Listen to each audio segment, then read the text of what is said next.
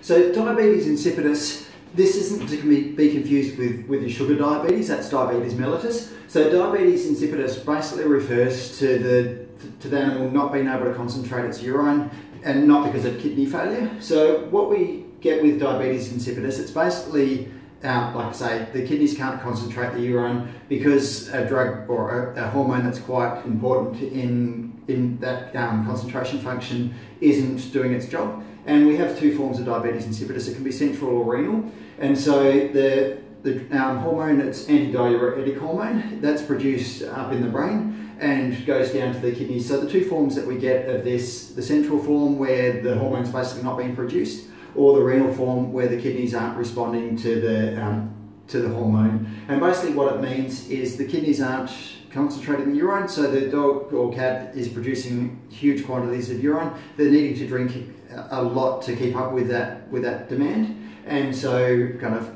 we get a situation where the dog's peeing lots and as a result it's drinking lots.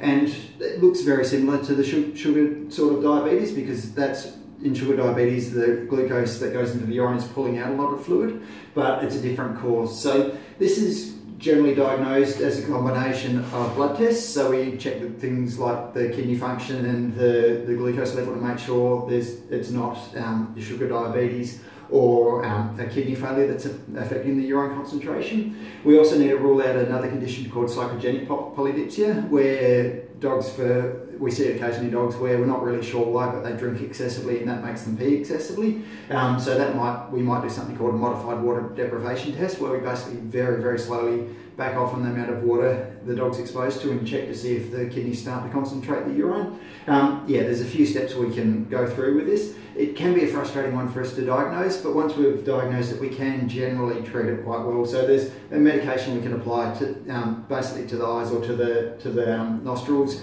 and that can have an effect. Particularly, it works quite well with the central um, diabetes insipidus, and we can get things under control. So it's quite a rare condition. It's the sort of thing we might see once every five to ten years as a vet, um, but something that we have to put on our list of, of possibilities if we've got a, a pet that's drinking and peeing too much.